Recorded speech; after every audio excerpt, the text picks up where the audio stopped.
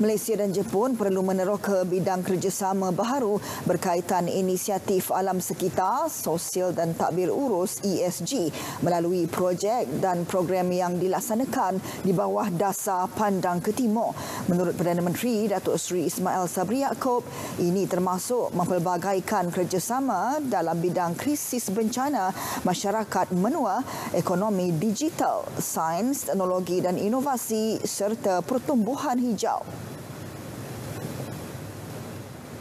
Menurut laporan risiko Global Forum Ekonomi Dunia WEF 2022, isu-isu seperti perubahan iklim, kesan sosial populasi yang semakin menua dan polarisasi sosial selepas pandemik COVID-19 dijangka memberi kesan serius terhadap ekonomi dan mata pencarian kebanyakan negara dunia dalam tempoh 10 tahun akan datang.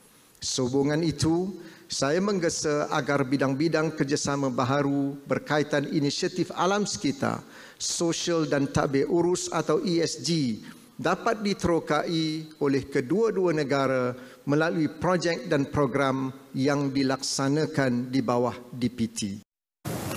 Datuk Seri Muhammad Azmin Ali membacakan teks ucapan Perdana Menteri pada majlis pembukaan seminar perniagaan ulang tahun ke-40 Dasar Pandang ke Timur di Ibu Negara.